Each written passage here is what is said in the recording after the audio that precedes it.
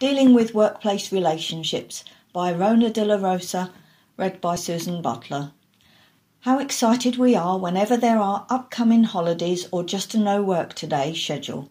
Plans are set and we are looking forward to remarkable, well spent days out of our work area. The excitement we feel is getting out of our boredom or breaking our everyday work routine. On the other hand, whatever we feel in the workplace, we still manage to report for work, as we also have our friends at work.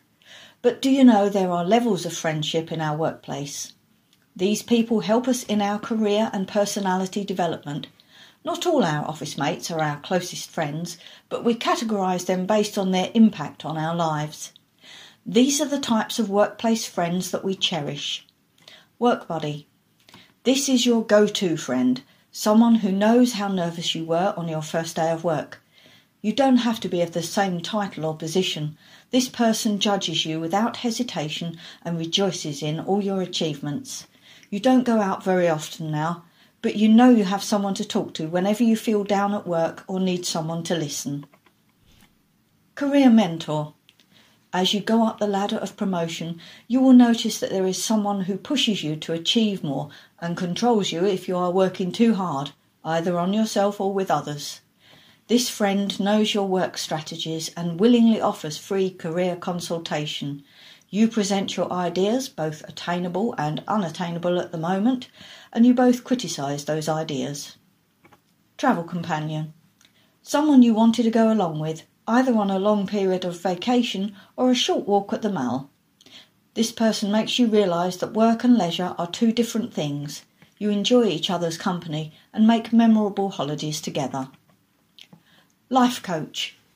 Working is not easy, as well as juggling your tasks at home or elsewhere after work. You feel tired and exhausted most of the time, but this person is always ready to listen and makes you realise how to strategise on balancing your responsibilities in a work life environment.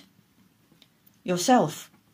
There are times that we can't figure out our work responsibilities.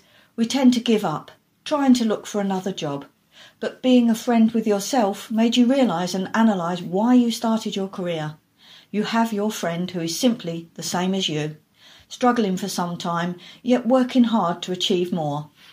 Learn to compete not with your other colleagues, but with yourself. Improvement is how we overcome what we failed to do before. Not all our colleagues are our friends.